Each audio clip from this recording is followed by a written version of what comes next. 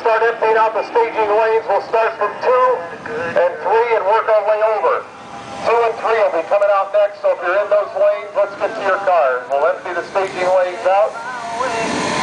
And at this time, the rear staging is now closed.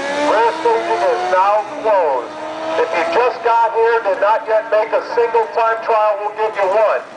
But the rear staging is now closed. No more cars, trucks, or bikes in the lanes. The rear staging is now closed for time runs. We're going to start.